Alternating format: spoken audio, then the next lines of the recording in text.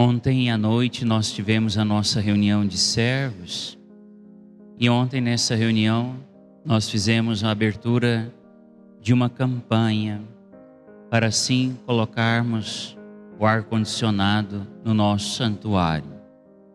E para que possamos colocar esse ar-condicionado, é necessário a troca de todo o forro, bem como também a troca do telhado diante de tudo que nós estamos passando nesses dias, de maneira muito singular, com esse ar muito quente, nós estamos vivendo em todos os ambientes. E para isso, todos nós já sabemos, é necessário o esforço de todos nós. Não adianta o padre sozinho ou os padres, não adianta pastoral A ou pastoral B, não adianta um grupo pequeno se movimentar. É impossível a gente poder alcançar o objetivo que precisamos para que assim nós possamos colocar esse ar condicionado e trazer à nossa igreja, à nossa comunidade, um bem-estar. Mas por que, que o Senhor está dizendo isso, Padre Rodrigo? Tudo na vida, meus irmãos e minhas irmãs, se não tiver perseverança, nós não vamos alcançar com a esperança que tanto precisamos. Padre Rodrigo, dá trabalho? Lógico, todos nós temos consciência disso. Tudo que é fácil nessa vida e tudo que é gostoso nessa vida, uma brincadeirinha. Ou é pecado ou engorda. Só para descontra, descontrair. Mas que nós possamos entender no Evangelho de hoje o reino de Deus precisa acontecer. E o que é o reino de Deus? Nós já sabemos. É esse reino de justiça, é esse reino de paz, é esse reino de santidade, é esse reino de verdade, é esse reino que nós, os filhos e filhas de Deus, encontramos abrigo, encontramos felicidade e nele nós somos realizados. Isso é o reino de Deus. Agora volta a pergunta, meus irmãos e minhas irmãs.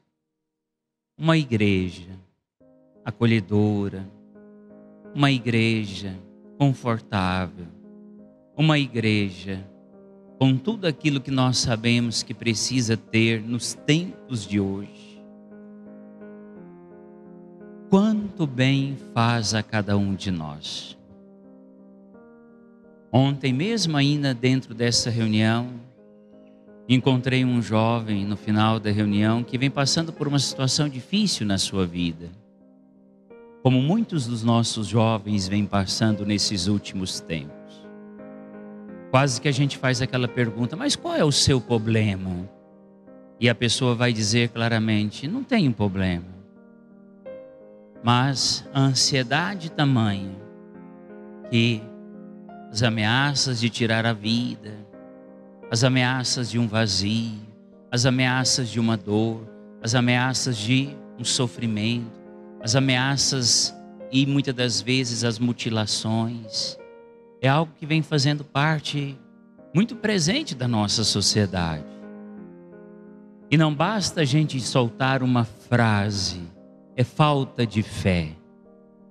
Não basta a gente soltar uma frase, é falta de Deus. Esse jovem, por exemplo, está na igreja, tem fé. Onde está a resposta? Sabemos em Deus. Onde está a solução? Sabemos em Deus. Mas para isso, meus irmãos e minhas irmãs, nós precisamos ser esse agente de transformação na vida de tantas pessoas.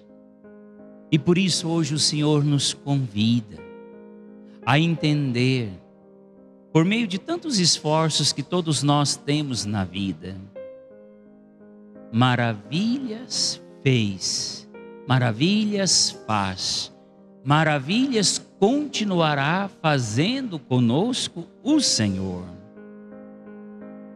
Então vamos pedir hoje nesta Santa Missa esta graça para todos nós.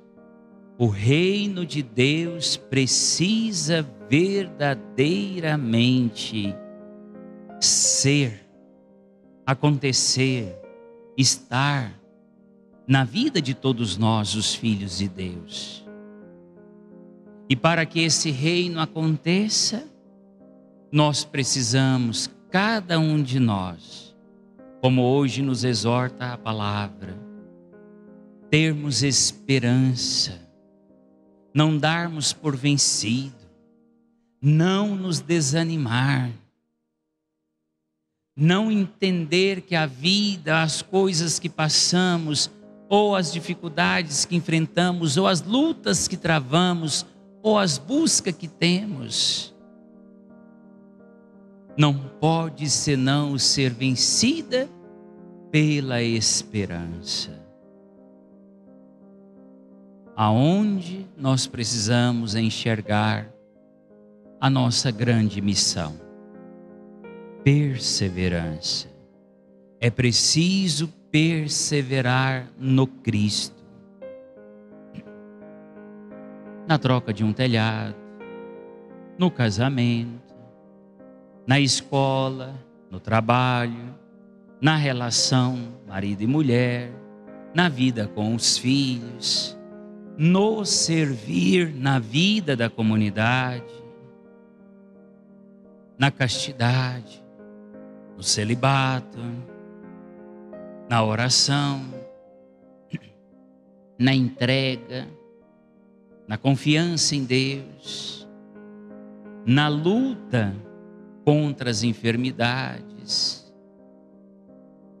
na busca, meus irmãos e minhas irmãs, de tudo aquilo que nós acreditamos, o reino de Deus.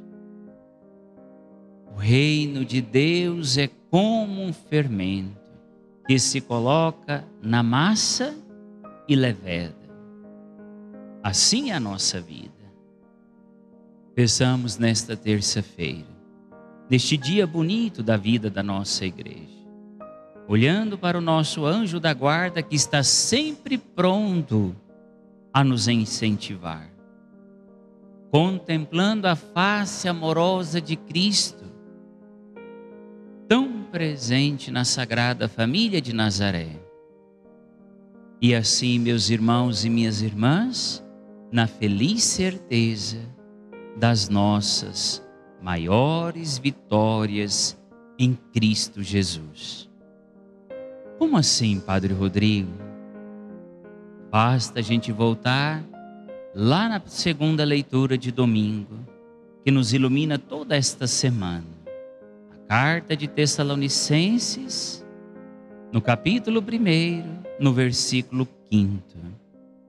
Maravilhas fez conosco o Senhor, porque Ele age com poder nas nossas vidas. Entreguemos, meus irmãos e minhas irmãs, no altar do Senhor, no amanhecer deste doce dia tudo aquilo que nós estamos precisando. Que Deus possa agir com poder nas nossas vidas.